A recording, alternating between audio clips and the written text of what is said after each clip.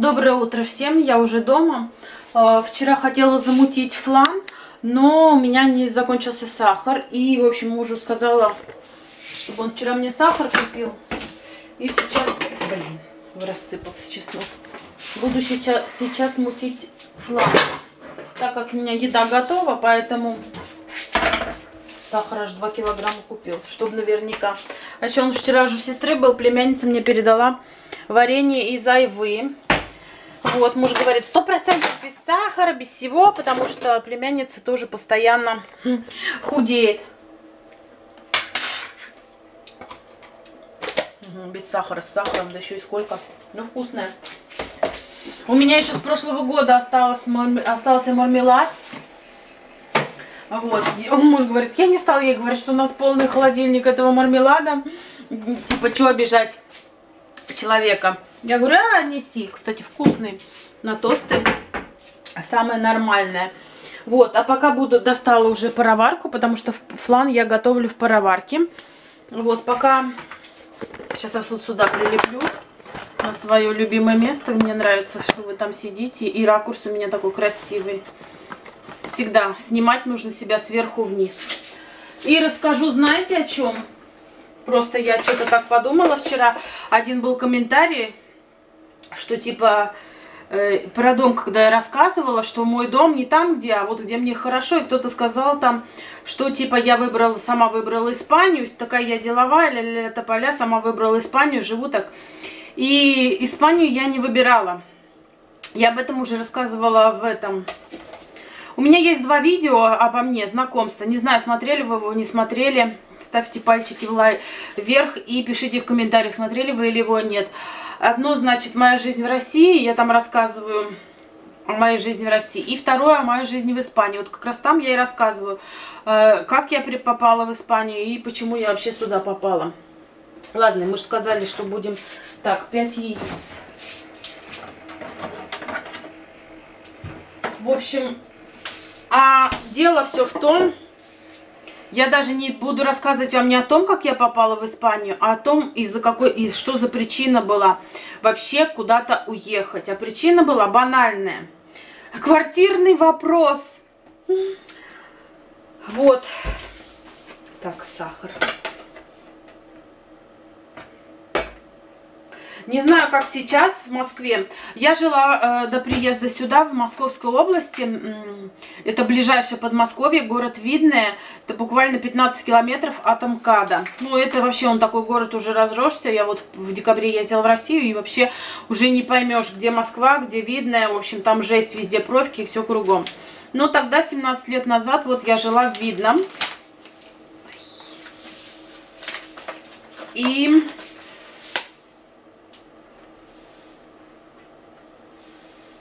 Нужно тут сосредоточиться.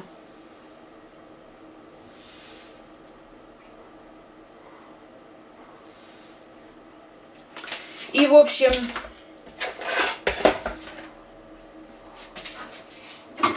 жила в Видном, снимала комнаты, работала в магазине. Вообще мне в магазине работать очень-очень нравится. Это мое. Я очень люблю общение с людьми. Поэтому, хотя выучилась на бухгалтера, поэтому все, что связано, сфера услуг, обслуг, как хотите, это вот все мое. Что тут такое?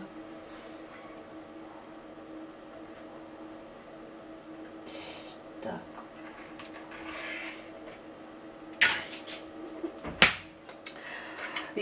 Работала в магазине и снимала комнаты. На квартиры, естественно, ну не то, что не было денег, я зарабатывала хорошо, очень даже хорошо в те времена.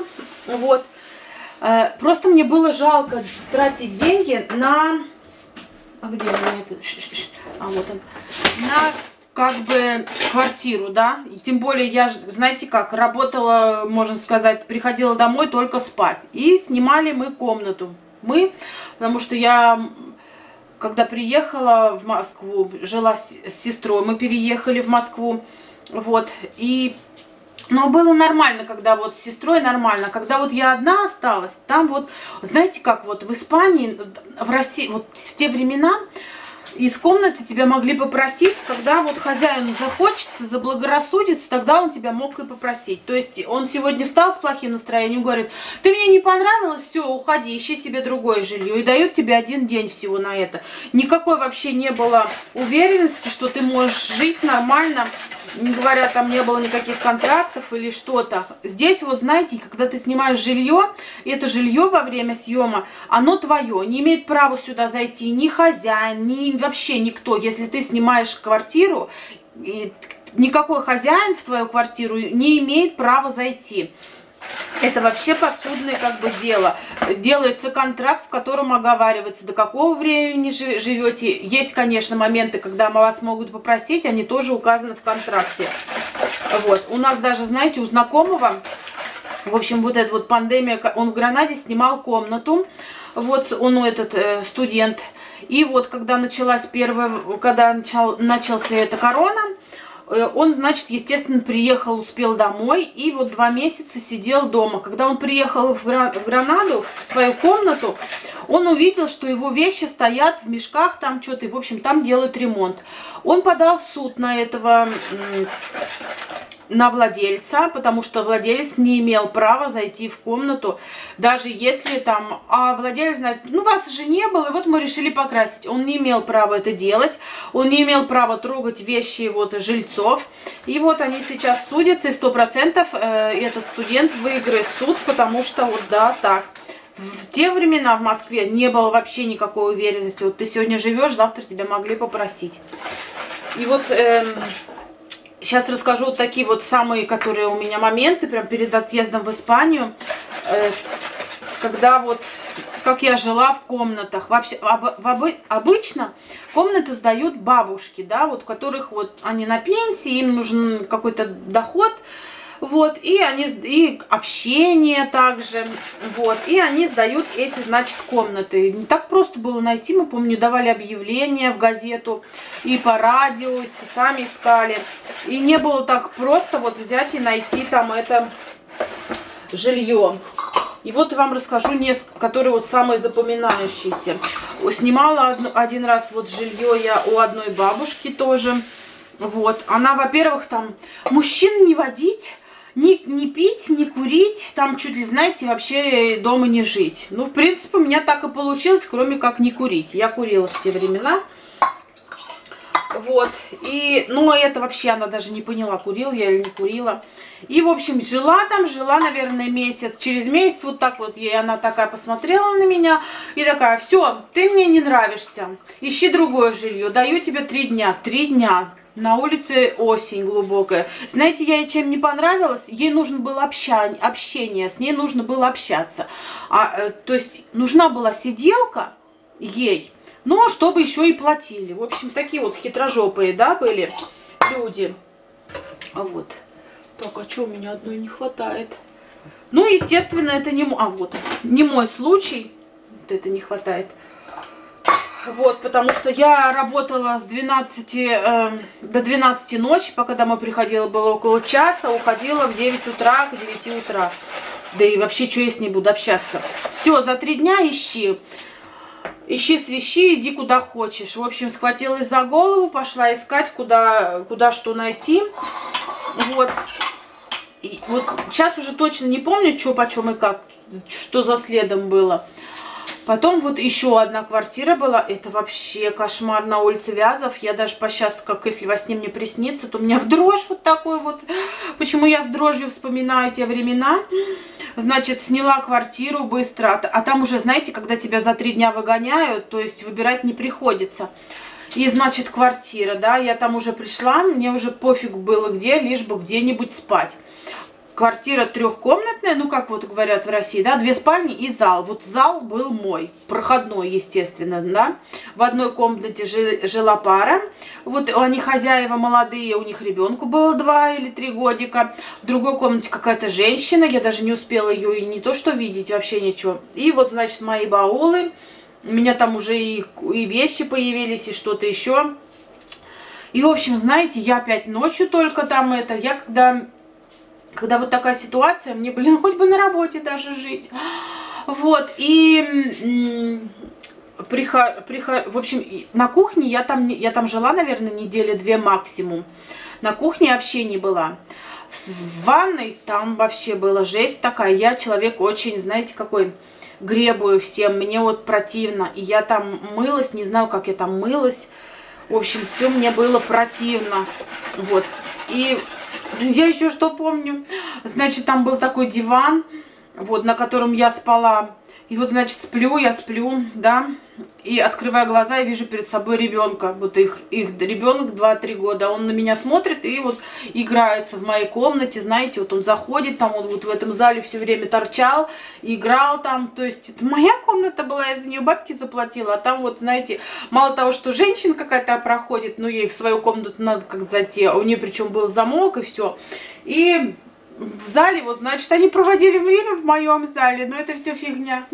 Я как-то прихожу в первом часу ночи домой, да, и слышу прям такие стоны, там кексом занимаются, боже. А я сплю очень чутко.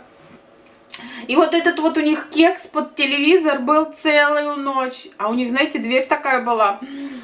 И вот э, где замок, видимо, вытащили, или что, вот такая дырища была. В общем, там все слышно было. Ой, вот это я помню, как я, блин, знаете, на следующий день опять убегать из этой квартиры, ну его нафиг. И вот я так устала вот искать эти квартиры, так я задолбалась снимать, вот никакой уверенности, у меня уже какая-то, знаете, депрессняк на меня начинал нападать, что, блин, вот работа нормальная, все нравится, ну, блин, жить вообще вот так не, невыносимо. Лучше знаете, как снимать вот квартиру полностью, либо с твоими подругами, либо мы вот э, с твоей, мы вот, кстати, потом мы сняли, приехала моя двоюродная сестра тоже в Москву, мы сняли с ней тоже комнату, но здесь уже более-менее попалась нормальная комната, потому что там хозяева не жили. Но эта комната, квартира была как бы под ремонтом, да, то есть там ну, так, главное, что не было почти никогда. И то все равно можешь прийти домой, а у тебя там, как говорится, то ли гости, то ли еще что-то. И вот я так устала от вот этих всех квартир. Я так задолбалась искать вот это все. Я так вообще... И вот потом у меня сестра тоже в, Мос в Москве жила и живет. И вот у нее подруга была. И есть тоже. Вот. И, значит, э, она такая, вот там, это... Моя подруга уезжает в Испанию ля-ля-ля тополя, у нее там сестра, она замуж выходит. И я такая, знаете, чик, такая, думаю, блин, уезжает. И я такая подумала, мне прям так загорелось. И вот, я такая говорю, что надо сделать, чтобы с ней улететь? Говорю, она нормальный человек, но она мне рассказала, что за человек, там ля-ля-ля. Вот, какой человек? Я говорю, она меня с собой возьмет. Она, ну давай я с ней поговорю. Я говорю, поговори, пожалуйста, потому что вот я именно устала эмоционально. Вот я, вот это вот переезды, вот эти вот квартиры. Никакой уверенности, что тебя, блин, выгонят. А у меня уже, знаете, была и машинка малютка, и телевизор. Да и вообще вот это вот, сегодня живешь, завтра тебя попросят. Это, это вот я сейчас вспоминаю. У меня прям, я не знаю, как я так жила. Потому что, представляете, на улице оказаться. Зима, а ты на улице. Трындец. И вот, значит, эм, и вот так, поэтому я и приехала в Испанию. Просто вот подруга моей сестры поехала. В тот момент поехала бы она в Англию, я бы в Англию поехала. Поехала бы она в Германию, я бы в Германию. Мне просто загорелось, мне хотелось куда-то уехать, потому что я слышала, что вот в Европе там с жильем намного все лучше там нет такого, что тебя могут выгнать, когда ты хочешь. И все, поехала я в этот в посольство, сделала себе визу, и буквально через два месяца, наверное, я уже оказалась в Испании. Вот так. Поэтому я вот уехала просто, отда... я эти два месяца пахала как лошадь, без выходных, без проводных. У меня была сменщица девочка, с Украины, я ей говорю, хочешь, смотайся там на родину. Она такая, да, я говорю, да, езжай на два месяца. И вот я, представляете, работала как лошадь, заработала на квартиру, ну, я же знала, что я тут, мне, я хотела до лета приехать, я в ноябре приехала в, Рос... Э, в Испанию, я хотела, ну, побыть до лета. Я на море никогда не была, посмотреть на море. Вот именно, знаете, я мечтала, чтобы снять квартиру на берегу моря. И вот так вот. Ну, на это, естественно, все деньги нужны были. В общем, так все и получилось. Так что вот так, друзья. Это Испания выбрала меня, а не я Испанию. Ни капельки об этом не жалею. Хотя хрена узнает, я же в других местах-то не жила, в других странах. Может быть, э, может быть там в Германии или еще где-то. Нет, ну я всегда, я да, больше, ну даже нет. Я всегда, много раз вам говорила, что когда буду старенькой, я полгода буду жить в России зимой, потому что я очень люблю снег. А летом буду жить в Испании, потому что я очень люблю море. Такие вот у меня планы на мою старость. Надеюсь, заработаю что-нибудь на пенсию, на свою.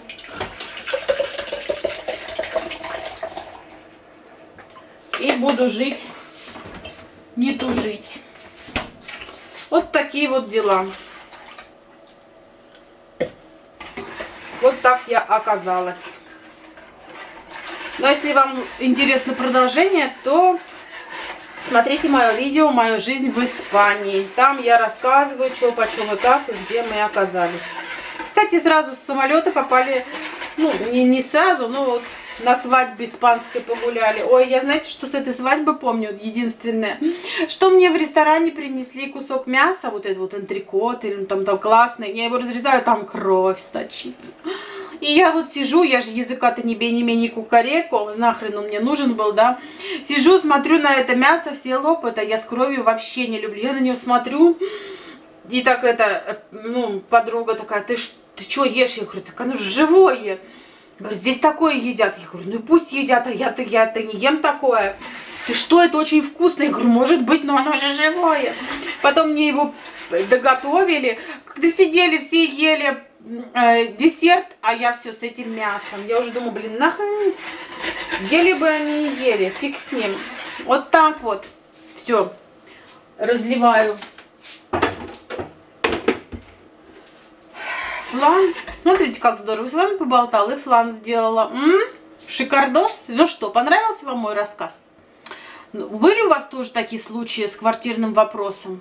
Это просто, я правда сейчас вспоминаю, мне прям, ой, так страшно. Надеюсь, что сейчас все получше, делают какие-то контракты, и есть какая-то уверенность, что тебя не попросят, блин. Мой обед без супа никуда, ни туды, ни сюды. И говядинка. Боже, как она пахнет с грибочками. Очень вкусно. Флан уже готов. Вот, ему осталось только остывать. Так что вот так. Все по плану у нас, по плану. Сегодня на улице прям даже, знаете, прохладно. Я была без носок сегодня, и у меня замерзли ноги. На работе, везде дома. Солнца нет, и как-то прям холодно. Я мерзлячка, хотя показывает дома 25 градусов, на улице 29. Ну, какой-то вот свежий такой ветерок, знаете. В общем, я иду к бухгалтеру. Вот, пройдусь по магазинам, посмотрю. Э, куплю стевию и чай. Там есть тропический вкусный чай такой обалденный. Что-то вот тут на днях вспомнила о нем. И зайду сейчас куплю. Ну, про магазином прошли, прошмандуюсь. Вот, а Чарли остался дома с мужем.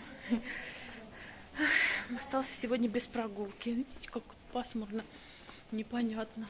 Ну да ладно, такая погода мне тоже нравится. Вот так сегодня выгляжу.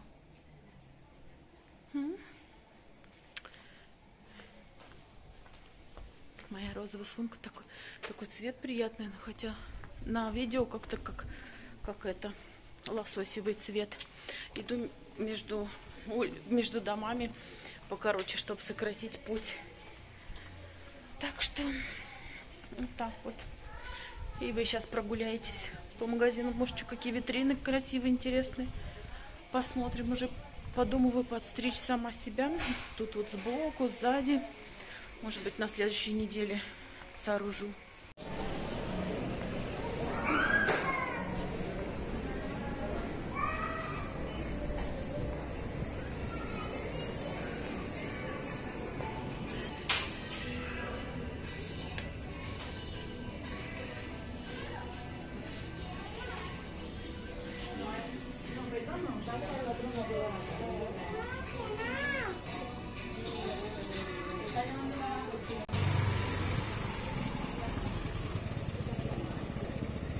Кафешка какая-то новая открылась.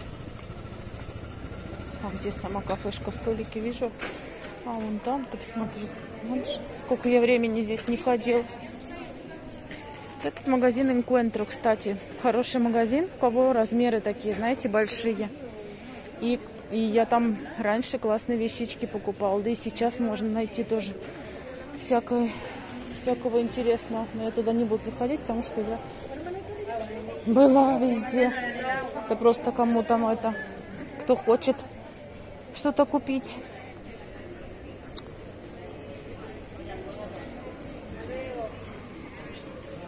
Пасмурно как-то прямо это. Вот обувь, это моя болезнь. Обувь и сумки. Еще трусы. Трусы тоже люблю. Левчики. Вот тут еще тоже все по 10 продают еще. Мы с подругой приобрели уже здесь. Ну, посмотрим, что тут осталось. Надо побрызгаться. Эти, кстати, смотрите, прикольные какие. Интересные, да? 10 евро. Да, 10. А если берешь 2, размер мой, то получается за 15. Интересные, да? Здесь все по 10, видите? Кстати, очень уютненько на этой в этой кафетерии, на этой площади. Так что надо пригласить подружек выпить там кофе. Все, я отнесла бумаги. Меня, блин, комары сожрали там внутри. Внизу хожу, чешусь вообще. Зашла в чайный магазин, набрала себе, смотрите, во-первых, стевию взяла. Вот здесь 100 грамм. Взяла черный чай манго с манго. Кстати, я его заварила. Надеюсь, ночью усну. Ну, потом тяпну чай такой, который для сна. Просто очень захотелось попробовать этот манго. Вот этот чай тропикаль. Покупаю, он обалденный. Просто, просто нереально вкусный. Всегда его беру. Вот. И там, помимо чаев, чай, кофе, потанцуем. В общем, там разные диетические продукты продаются. Потом разные... Ну, в общем, все для здорового питания. Как бы, ну, не все там, ну, есть кое-что. И вот нашла желатин.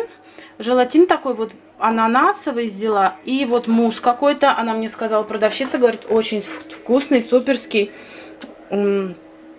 Без, ну, вы поняли, да, что... Вот, я его сейчас забацаю, наверное, он делается в микроволновке. Здесь 49 грамм на одну порцию. Ой, 49 килокалорий на одну порцию. Это, ну вы поняли. Короче, ну вы у меня догадливые, вы поняли, потому что мне язык уже не ворочается. Вот. Что хочу сказать. Сейчас я это замучу или замутю. Два пакетика там. Я не знаю, сколько это что стоит, но за все отдала 15 евро. Ну, в общем, если чай, то хороший настоящий чай, он дорогой. Ну, вы сами об этом знаете. Это у нас так телек вырубается. Вы тоже об этом знаете. Блин, а еще у Чарли закончилась еда, но сегодня он поел. Вот. Так что вот так буду пить чай, делать этот желатин. А муж попробовал мой торт и говорит, такая захорона, говорит, что за фигня такая невкусная. А ему, знаете, когда вам сладко, ему, еще, ему не сладко, ему надо еще больше сладости. А там, естественно, ни сахара, ни ничего. Он, я говорю, так это не для тебя, вон тебе я флан сделал. Он говорит, я его только потом увидел. Тортик хотел отпробовать, хрена тебе. Так что вот так не оценил он мой торт. Но мне он идет только так. Он такой нежный. И я представляю, что это медовик. Ладно, друзья, вот такой вот у нас день. Пишем с вами комментарии. И всего самого лучшего всем. Пока-пока. Кстати, на ужин у меня вот этот вот чай. Я, жела... я 6 часов желатинку съела. Он такой вкусный. Сейчас вот это еще забацаю.